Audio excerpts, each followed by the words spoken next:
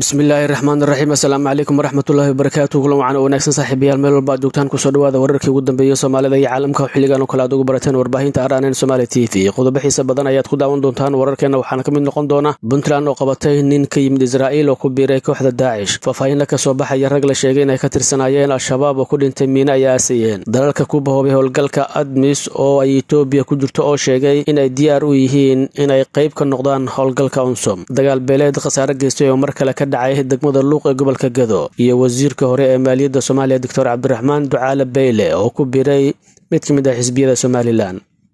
Qodobadaas oo faahfaahsan ayaad ku daawan doontaan wararkeena se yeeshee saaxiibayaal noo sheergaraya muuqaalkan haddii uu idii soo gaaro. Nagu soo biir oo ka mid noqo saaxiibada nagu xiran si aad u hesho wararkii ugu dambeeyey ee soomaaliya iyo caalamka ayaan halkan soo gelino aan ku bilaabay ciidamada sida gaarka u tababaran ee b s f ta puntland ayaa xalay soo bandhigay nin ajnebi ah oo ay ku qabteen howlgal culus oo ka dhacay buuraha calmiskaad ee gobolka bari. Ninkan oo magaciisa ku sheegay cabdalla mustaf abuday saalim ayaa ka mid ahaa xubnaha ajaaniibta ah ee ka bardagaalamayay kooxda daacish ee soomaaliya. Waraysi muuqaal ah oo laga duubay saalim ayaa taliska ciidanka b s f ay baahiyeen waxaana uu ka hadlay halka uu ka yimid iyo sida uu ku soo gaaray gudaha soomaaliya. Cabdalla mustaf abudayr saalim ayaa sheegay in uu ka yimid magaalada la yiraahdo zakniin ee israa'iil halkaas oo uu jaamacad kaga baranayay cilmiga injineerka. Kadib waxa uu sheegay inuu isaga soo tegay si uu ugu biiro daacishta soomaaliya. Magacaygu waa cabdalla mustaf abudayr magacayga afgarashaduna waa saalim waxaan baranayay kuliyadda injineerinka ee jaamacad ku taala magaalada layidhahdo sakniin ee israa'iil ayuu yiri cabdalla mustaf abudayr sidoo kale waxa uu ka sheekeeyey qaabka uu ku soo gaaray puntland ugana sii gudbay dhulka buuraha ee ay ku sugan yihiin kooxda argagixisada gaar ahaan daacish waxaan soo gaaray buuraha daacish ay ku sugan yihiin waxaana halkaasi igu sugayey shan xubnood oo ka tirsan daacish waxayna i keeneen meel la dhaho istiqbaal halkaas oo aan tababar ku qaatay ayuu sii raaciyey abudayr arrintan ayaa dhalisay hadalhayn xoogan iyada oo su'aalo ay ka yimaadeen sababaha uu ku soo doortay soomaaliya isagoo aadi karayay wadamo kale oo ka dhow sida dhulka falastiin oo uu ka socdo dagaal xoogan iyo sidoo kale xasuuqa israa'iil ay ku hayso shacabka gaza. Si kastaba ahaatee maalmihii u dambeeyey ayaa waxaa soo baxayay warbixino kala duwan oo sheegaya inay sii kordhayaan tirada ajaaniibta ku biiraysa daacishta soomaaliya ee haatan ku xoogan deegaanada maamulka puntland gaar ahaan dhulka buuraleyda ee gobolka bari. Faahfaahino dheeraad ayaa ka soo baxay qarax miino oo ay ku geeriyoodeen xubnihii aasayay kaas oo maanta ka dhacay gobolka shabeellada hoose qaraxan ayaa si gaara ugu dhacay agagaarka deegaanka layidhaahdo majabto halkaas oo ay tageen laba xubnood oo ka tirsan al-shabaab si ay minada u aasaan balse iyagii ayaa ku dhintay. Qoraal kooban oo ka soo baxay warbaahinta dowladda ayaa waxaa lagu sheegay in xubnaha dhintay oo watay moto fekon ay doonayeen in minadaasi ay ku dhibaateeyaan shacabka balse alla uu qadaray in isla iyagii ay ku geeriyoodaan qaraxii ay diyaarinayeen. Dhagarqabayaal ka tirsan maleeshiyaadka khawaarijka ayaa ku geeriyooday duleedka deegaanka layidhaahdo majaabo ee gobolka shabeellada hoose halkaas oo ay ku doonayeen in ay miino ay ugu aasaan shacabka isticmaalaya wadadaasi oo muhiim u ah isu socodka gaadiidka iyo dadka gobolka ayaa lagu yiri war-saxaafadeed ka soo baxay dowladda soomaaliya. Sidoo kale taliyaha ururka labaatan iyo lixaad ee guutada lixaad ee qeybta lixdanaad ee ciidanka xooga dalka soomaaliya gaashaanle faarax xirsi cabdulle ayaa sheegay in ay gaareen goobta uu falka ka dhacay isaga oo sheegay in ay soo bandhigeen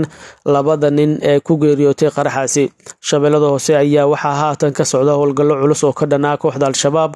waxaana badana ka dhaca dagaalo iyo duqeymo xoogan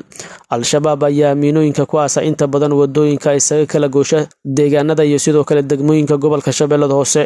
taas oo cabsi badani ku abuurtay dadka iyo gaadiidka ku safra dhulka iyadoo mararka qaarna ay miinooyinku la kacaan dad rayda warar kala duwan ayaa ka soo baxaya dagaal xoogan oo ka qaraxay degmada luuq ee gobolka gado kaas oo u dhexeeya laba maleeshiyo beeleed oo hubeysan. Dagaalka ayaa saaka dib ugu qarxay bartamaha magaalada waxaana maleeshiyaadka ay isku adeegsanayeen hubka noocyadiisa kala duwan sida ay noo sheegeen ila dadka deegaanka. Maleeshiyaadka dagaalamaya oo in dhowaanahanba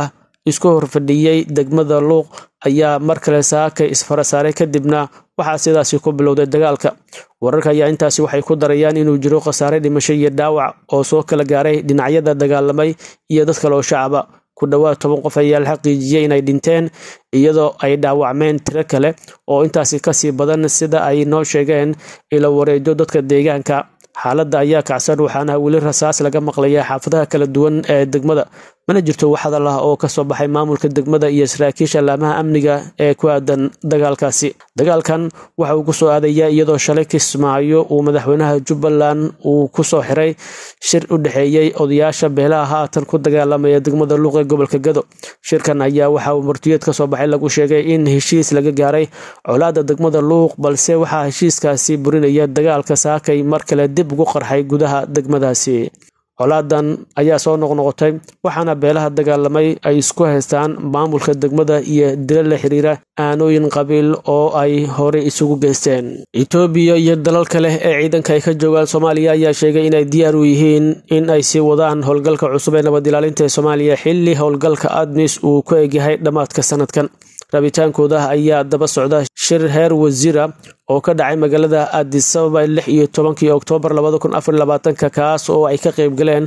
madaxda difaaca dalal dhowr ah islamarkaana ay isugu yeertay wasiirka gaashaandhigga etoobiya caasha maxamuud. Wasiiradu waxay sidoo kale ay soo qaadeen walaaca ku saabsan dhibaatooyinka dhaqaale ee admis iyo sidoo kale unzum. Waxay kala hoosta ka xariiqeen muhiimadda ay leedahay wax ka qabashada yaraanta miisaaniyadda howlgalkan